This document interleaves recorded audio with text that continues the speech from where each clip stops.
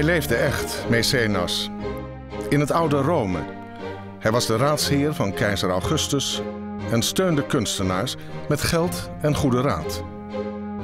Zijn naam, Mecenas, is een begrip geworden voor mensen die nu kunst steunen.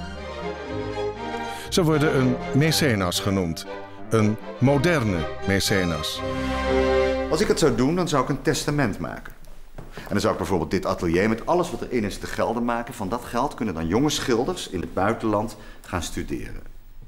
En omdat ik er niet meer ben na mijn dood om alles te regelen, geef ik de uitvoering daarvan in handen van het Prins Bernhard Cultuurfonds. Waarom is er nu zo'n hoogste in die persoonlijke cultuurfondsen? Nou, misschien wel omdat er steeds meer geld in Nederland is. De beurskoersen stegen, de huizenprijzen gingen omhoog. En er is nu een generatie die erft van ouders die altijd zuinig geleefd hebben. Of misschien omdat de religies afbrokkelen. Vroeger lieten mensen geld na aan de kerk. Hè? Uh, het geloof gaf automatisch zin aan hun leven. Maar nu willen ze zelf iets zinvols met dat geld doen. Iets wat andere mensen ook kan verrijken. Of misschien, dat is typisch Nederlands, misschien omdat het fiscaal aantrekkelijk is. Meestal betalen de stichters de helft en de belasting de andere helft. Maar hoe dan ook, ze doen het. En ze doen het niet voor zichzelf.